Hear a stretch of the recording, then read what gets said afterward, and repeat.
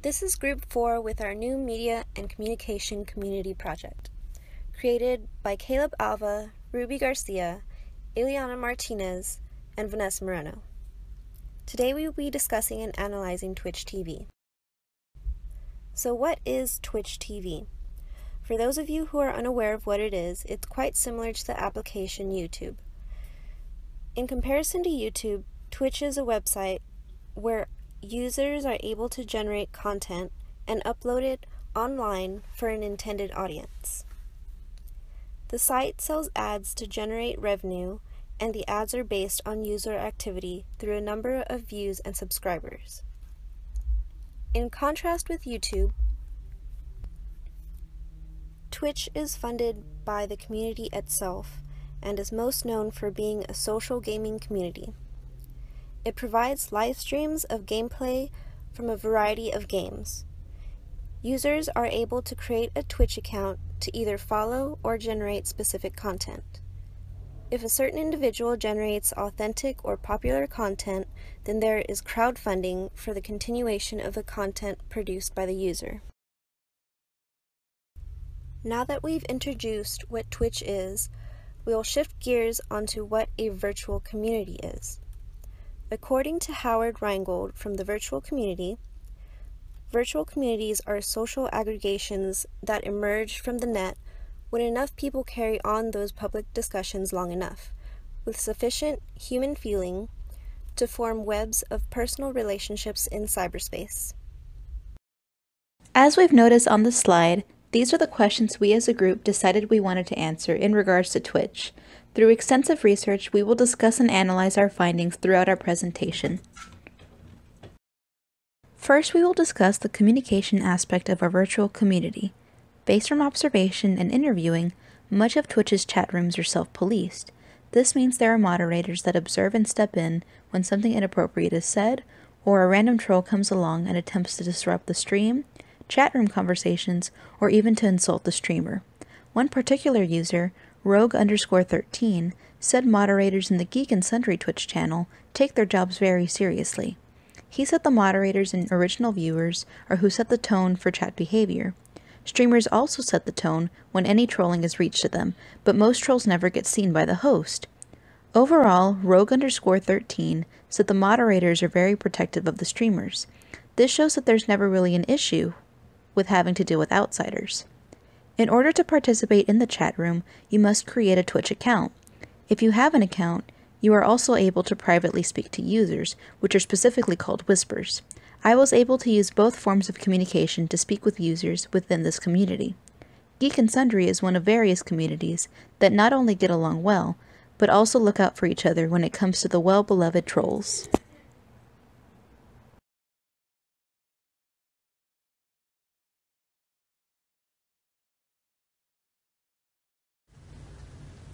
Barn raising was briefly discussed in class. A community is able to accomplish more with common goals in mind. Twitch has utilized this concept. Streamers are able to produce content because the community contributes financially for them to do so. This content may not otherwise exist, or if it did, it wouldn't be to the same level of production. Both the streamers and viewers benefit from barn raising.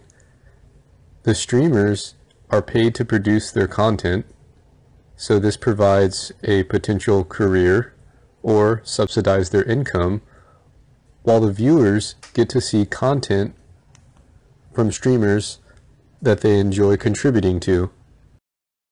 As with all things in life, there is always pressure to maintain a certain image or title that an individual has. This falls into the case of the streamers on Twitch.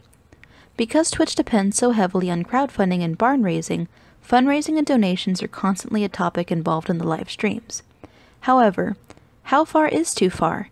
According to Wish.tv.com, in February of this year, a Twitch streamer named Brian Vigneault passed away unexpectedly during a 24 hour stream he was holding for the Make a Wish Foundation. Though his viewers saw how tired he was and tried to convince him to take a break, Vigneault refused. More on this story can be found in the link below in the description of this YouTube video, in case you're interested in learning more about this. Another example of this is from a Twitch streamer named Erica Ishii, who created a fundraiser to sponsor the American Civil Liberties Union, better known as ACLU. Based from Rogue underscore 13's interview, he said sheep promised to eat a salted tarantula one of the chat members wanted to send in, as well as other creatures if she reached her goal of $10,000. Within 24 hours of her stream, she reached her goal and ate the spider, along with chocolate covered crickets and scorpions. Twitch has a very strict EULA, or User License Agreement, and Code of Conduct. Violations of this agreement can lead to an account ban. For example, instances of nudity that have occurred have resulted in permanent bans. Streamers have certain guidelines they are supposed to abide by. While foul language is less moderated, Twitch aims to provide a family atmosphere. This also raises the questions of what content Twitch would not allow. If there was a following of a particular hate group, would they be able to foster a community of like-minded individuals? Or would Twitch simply ban this content immediately? After browsing through various channels on Twitch, I decided to observe a Dungeons & Dragons group on Geek and Sundry called Critical Role. Dungeons & Dragons has been a huge hobby of mine for years now, and conveniently, their episodes release every Thursday night at 7, so it made it easy for me to tune in each week as my schedule permitted. Every episode builds on a previous episode, and the aim of the community is to really immerse people in the storyline. So I decided to see how much could I immerse myself in this online community. After creating an account and observing for a little while, I decided to interview several people. The first person that I interviewed went by the username Linkovich. Linkovich has been on Twitch for about two years and follows Critical Role as well as another streamer that streams Heroes of the Storm. When asked if, in fact, Linkovich thought this was an online community, he agreed wholeheartedly that it was. Ha not having access to a physical Dungeons and Dragons group the online episodes as well as trading storylines and ideas created that community that he did not have with a local gaming group. Linkovich also said he has donated to the Critical Role channel to receive exclusive content, newsletters, and has even been sent some prizes for participation. Another person I interviewed went by the name of Peyton. Peyton had very similar ideas about Critical Role as Linkovich. He too agreed that it is an online community and he is able to actively immerse himself in the storyline that's going on as well as talking to other members of the community. Ironically, Critical Role claims to be a very open community where people can exchange ideas, but there was a real hesitant hesitation for the interviews. People did not want to easily or weren't easily self-disclosing, so I found this to be an issue. I had to keep questions strictly about Twitch or D&D or Critical Role. When I wondered about a person's first name or location, they seemed very hesitant to exchange this information. I find this interesting since it is a community. If I were to go to a local gaming group and play Dungeons and Dragons, I would have no problem sharing my first name, maybe where I go to school. So I'm unsure why that barrier was there. Granted, I did interview only a few people, and this could have been the few introverts online that were unwilling to share any information.